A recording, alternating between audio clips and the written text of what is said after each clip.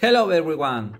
Hello my lovely English community with this amazing video from Webleo TV. I'm going to show you how to use this program called PhotoSync that help us to send our files from our cell phones to your, our computer without using the USB cable. How can we start using this program? Well, the first step is going to, of course, Google or your homepage uh, searcher, favorite searcher from web, and you put PhotoSync and then you find the, the link I put in the square, right? And if this square appear here, you must go to accept all, right? Then you go to the download page as I show you. And if you have Macintosh or Windows, well, I'm going to use the example with Windows and Android, Android phones, right? We go into the download button, right, to, to, to download the, the last version of the program, right?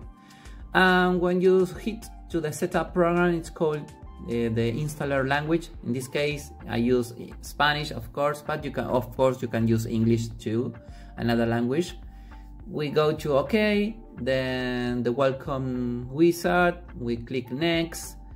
Anyone can use the computer next.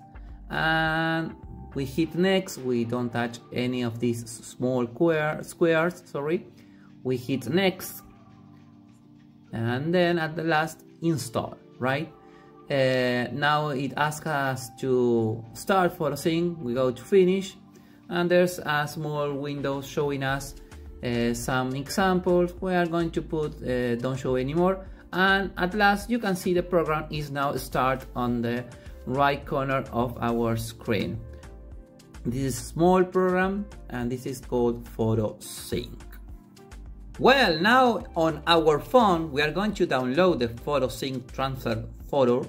In this case I had it uh, download so I'm going to open to open it. Oh, it's just to open and close because the most important thing is to go to our gallery. In this case I traveled to the past and have some videos and pictures.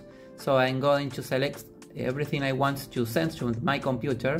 And we are going to use of course at the top of the screen uh, the share button of course the, the, classic share button there as, I am showing you hit there with the arrow.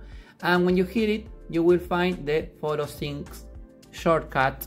If not go to the more options to find this icon icon icon right? And when you choose uh, it's going to open the PhotoSync app and you will choose a computer in this case. It is in Spanish but I'm going to say to you uh, computer and if you find this small error don't worry it could happen sometime but it's very good that it's appear here. We're going to choose add device in manual form right or manually uh, to uh, that to photosync recognize our computer right?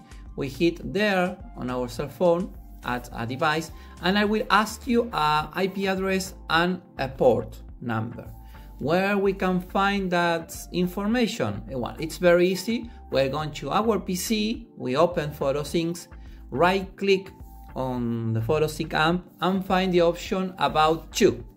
There, in About You, uh, you will find the, the option we need, the, the IP address, in this case, this long number, and the port number. We take number, or we, we we let it there in the computer and we go to the cell phone right? And now on our cell phone we are going to write this number. Don't worry because this is local ip nothing going to hacker me. Don't worry. So we put the ip address address there and the port right?